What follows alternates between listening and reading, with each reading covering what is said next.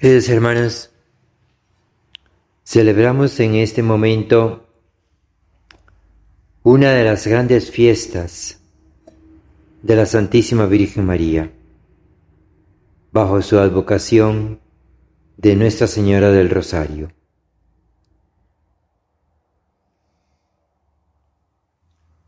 Hay un dato muy curioso que a mí desde hace ya varios años me llama la atención. Y es que cuando la Santísima Virgen se le apareció a los niños en Fátima, les enseñó a rezar el Santo Rosario. enseñándoles lo que podríamos llamar tres secciones del Santo Rosario. Misterios gozosos, misterios dolorosos y misterios gloriosos. Hermanos,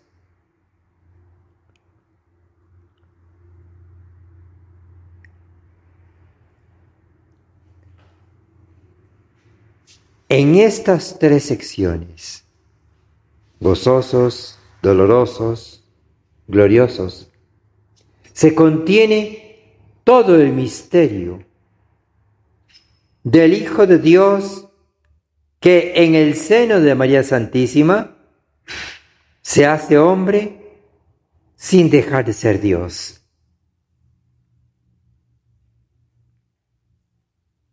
Y siendo Dios y hombre, realiza todo el misterio de la salvación del género humano.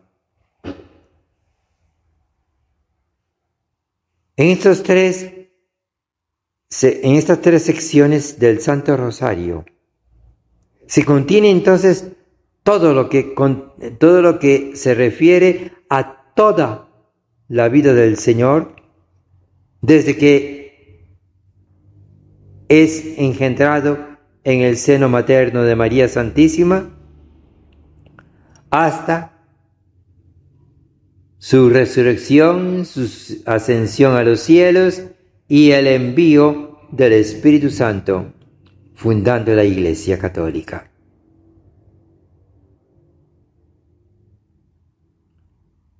Hermanos,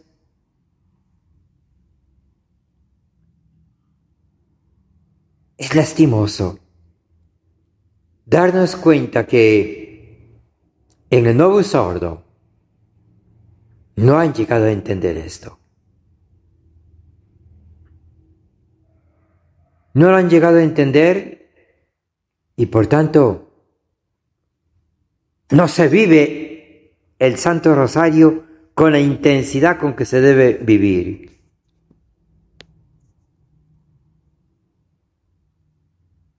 Y por eso, después de la oración litúrgica de la iglesia, el rezo del Santo Rosario tiene un lugar muy especial en la vida de todo cristiano.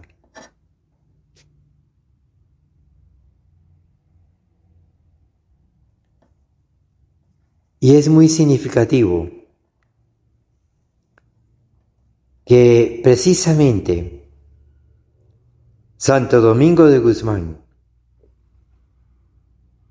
dándose cuenta de que una gran cantidad de fieles no estaban en capacidad de rezar todo el breviario, entonces él promovió precisamente el rezo del Santo Rosario para que los fieles tuvieran la posibilidad de algún medio de rezar, algún medio de dirigirse con la Santísima Virgen María a Dios nuestro Señor.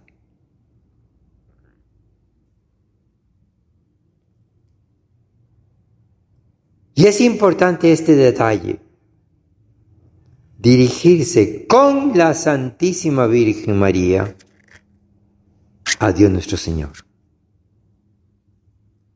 La posibilidad de contemplar todos los misterios de la vida de Cristo en unión con la Santísima Virgen María. Por tanto, hermanos, yo debo, considero y que creo que todos los católicos debieran considerar el Santo Rosario no como una oración solamente para rezarle a la Virgen Santísima, no solamente como una oración para alcanzar la intercesión de María Santísima, sino que también es una oración con la cual se acompaña a María Santísima y se contempla a María Santísima se tiene en consideración el ejemplo de María Santísima para ser fieles a Dios nuestro Señor. Se contempla a María Santísima nos unimos a María Santísima para contemplar y aplicarnos los misterios de la salvación realizados por Jesucristo nuestro Señor, a quien se adora en unión con María Santísima. El Santo Rosario, por tanto, no es solo para rezarle a María Santísima, sino que es el momento privilegiado para rezar con ella y como ella a Dios nuestro Señor. Hay que saber rezar el Santo Rosario de esa manera, no solamente rezándole a María, sino rezando con ella y como ella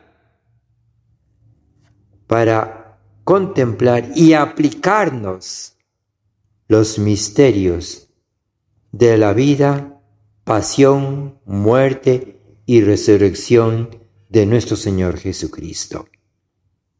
Yo creo que es importante y es urgente que entonces renovemos el rezo del Santo Rosario de esa manera. No digo que no haya que acudir a la intercesión de María. Eso no lo estoy diciendo, ni lo voy a decir nunca. Pero sí, voy a decir y voy a insistir en que, además de que María Santísima interceda por nosotros, debemos aprender a unirnos a ella y debemos aprender a orar como ella para aplicarnos la salvación de Jesucristo. Y para aprender durante el rezo del Santo Rosario a cumplir lo que Cristo nos está pidiendo continuamente, que seamos santos, como santo nuestro Padre Celestial. Hermanos, la profundidad del Santo Rosario es inmensa. Hay que saberlo rezar. Insisto, además de rezarle a María, rezar el Santo Rosario con y como ella, para aplicarnos los méritos de Cristo, para aplicarnos los méritos de toda la vida, la pasión, la muerte y la resurrección de nuestro Señor. Y estar abiertos entonces, como María, a la efusión del Espíritu Santo. Para que de esa manera la iglesia tenga la fuerza, tenga el poder de Dios para hacer la iglesia no una institución cualquiera, para hacer la iglesia no una organización no gubernamental entre tantas que hay en el mundo, sino ser la iglesia lo que la iglesia tiene que ser en unión con María Santísima y a imitación de María Santísima, el cuerpo místico de Cristo, que le da culto a Dios y que lleva a toda la humanidad hacia el único Dios verdadero, el único Dios que debe ser adorado, el Dios uno y trino, en Jesucristo por el poder del Espíritu Santo, con y como María Santísima. Hermanos, que cada día oremos de esa manera. En el verdadero resto de la iglesia. El resto de la iglesia que permanece fiel al Señor. No de una iglesia falsa que sigue a falsos pastores, sino de la única iglesia, el resto de la iglesia que permanece fiel a Cristo, en unión y a imitación de María Santísima. El Santo Rosario rezado cada día nos impulsa a hacer eso, a ser ese resto de la iglesia que adora al Dios uno y trino. El resto de la iglesia que vive la liturgia única y verdadera, la liturgia de siempre, no una liturgia falsa, no una liturgia postconciliar. Una iglesia que se une al Papa cuando es verdadero.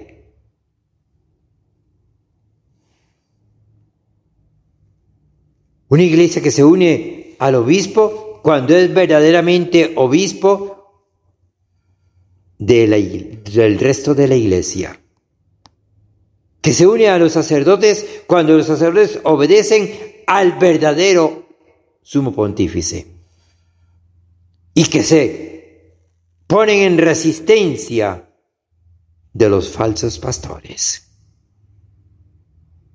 Así está María Santísima.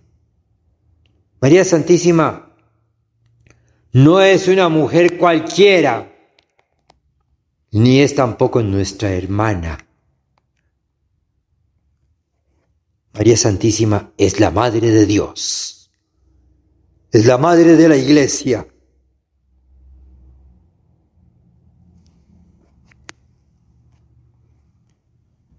Y de esa manera debemos entonces tenerla muy presente en nuestras vidas, no como una mujercita, no como una hermana, sino como la madre, la madre del resto de la iglesia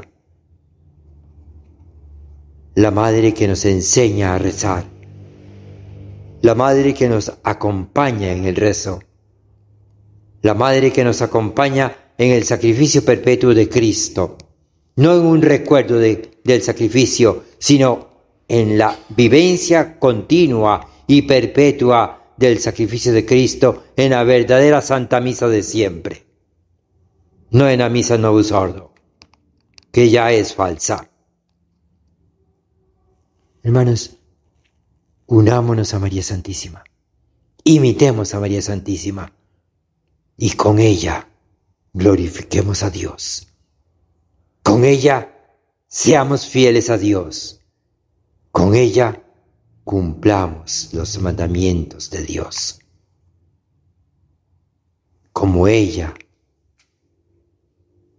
amemos al único Dios verdadero como ella y con ella. Seamos fieles a Dios, al único Dios verdadero, no al Dios de cada uno.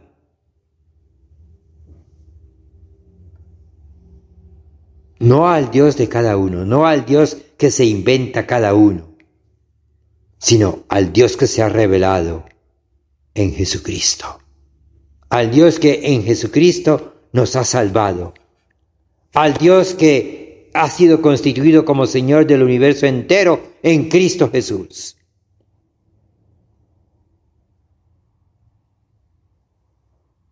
Hermanos, aprendamos entonces realmente a vivir la fe en unión y a imitación de María Santísima, para que de esa forma implantemos el resto de la iglesia en el mundo entero y algún día la verdadera iglesia vuelva a ser esa iglesia que tiene el poder de Dios para glorificar a Dios y para santificar a las almas.